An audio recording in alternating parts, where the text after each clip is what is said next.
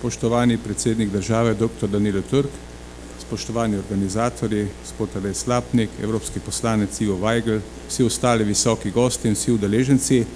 Res veseljem se danes udeležujem tega dogodka tukaj, ob tem, da letos praznujemo 140 let zadružništva v slovenskem prostoru, 40 let ponovne ustanovitve Zadružne zveze in pa tudi mednarodno leto zadruge. In res sem še enkrat vesel in se tudi zahvaljujem predsedniku dr. Danilu Turko, ki je za to leto prevzel tudi častno pokroviteljstvo, kar daje zadružništvu izjemno veliko težo tudi v tem letu. Torej, ta naslov je zelo pomenljiv, torej zadružništvo, vektor sprememb v Evropi. Dejstvo je to, da potem, da sem tudi že nekaj časa tudi podpredsednik v Evropskem združenju kmetijskega zadružništva, lahko ta zadnja leta opazujem, da sled te krize se Evropa zaveda, da je zadružništvo tisto, kar nekako zagotavlja na najcenejši način neko socialno stanje v družbi. Pa ne samo na področju kmetijstva, kajti v Sloveniji, ko se pogovarjamo o zadružništvo, nekako najprej pomislimo na kmetijstvo.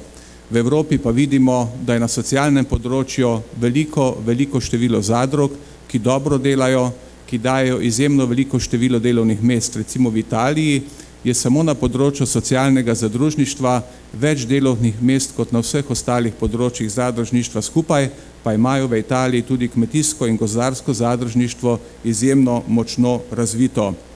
V evropskem, v svetovnem merilo zadruge povezujejo eno milijardo ljudi, je članov različnih zadrug. In te zadruge zagotavljajo preko 100 milijonov delovnih mest, kar je več kot vse multinacionalke skupaj. V Sloveniji je nekako nekaj preko 70 zadrug, ki so članice naše zadružne zveze in če pogledamo kmetijstvo, lahko vidimo, da te naše zadruge nekako preko 80 odstotkov v inputu in outputu napravijo vsega prometa.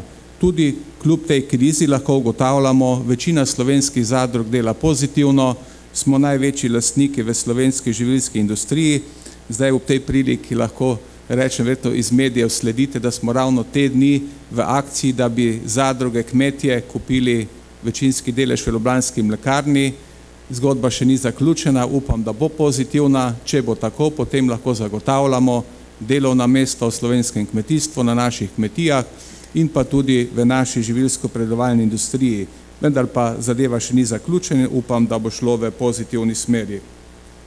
Mogoče še nekaj številk glede zadružništva, torej kar se kmetijstva tiče v evropskem prostoru, v okviru Kodžeke, kjer sam tudi delujem, je preko 38 tisoč zadrug na področju kmetijstva, gozdarstva in ribištva in tu povezujemo kar 30 milijonov kmetov. In te zadruge zaposlujejo kar 660 tisoč ljudi in ustvarjajo preko 300 milijard evrov prometa. Mogoče še nekaj, sicer ne že nimam rad preveč številk, ampak da vidimo, kako je zadružništvo v Evropi pomembno tudi na ostalih področjih. Kar se tiče bančnega področja, kar preko 50 tisoč zadrug, malo manj kot 50 milijonov članov. Potrošniške zadruge pri nas so še bolj začetki, v Evropi je tega že veliko, preko 4 tisoč zadrug in pa preko 30 milijonov članov. Stanovanjske zadruge, 17 tisoč zadrug, 4 milijone članov. Zavarovalništvo recimo, 300 zadrug, 8 milijonov članov. Potem proizvodne zadruge, 70 tisoč zadrug, preko dvema milijonoma članov. Pa zanimivo recimo lekarne, pri nas to še ni, ampak preko 2000 lekarn, ki ima kar 16 milijonov članov. To so pač neke številke, ki povedo, kam je torej zadružništvo, kje se zadružništvo giblje v tem evropskem prostoru in jaz sem izjemno vesel te, teh aktivnosti gospoda Slapnika in pa vaše skupine, ki ste v tem slovenskem prostoru dali zadružništvo nek nov moto, neko, neke nove poglede. Mi, ki smo v zadružništvu 10, 20, 30 let, neke zadeve ponavljamo že mnogokrat in nas dostikrat ta naša javnost že več ne sliši.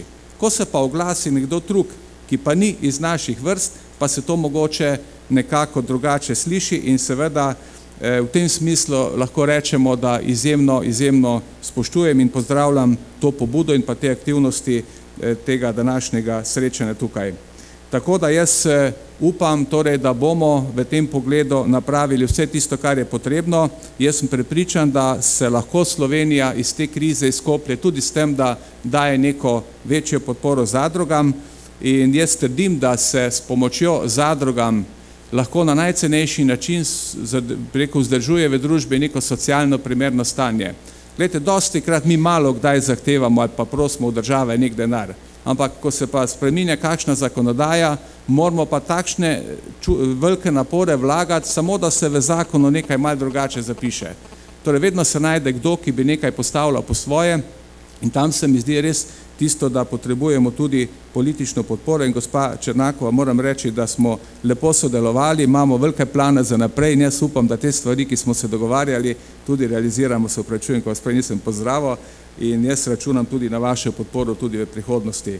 Jaz želim torej en res lep posvet ta dva dni tukaj, jaz sem prepričan, da bodo eni lepih zaključki iz tega posveta in tudi neko lepo sporočilo javnosti, vesel sem, ker je bilo tudi medijsko lepo pokrito, poslušali smo tudi po medijih, da se danes to tukaj dogaja in jaz sem prepričan, da bo to seme, ki ga bomo danes tukaj zasijali, zasejali, tudi obrodilo veliko sadov. Hvala lepa vam vsem.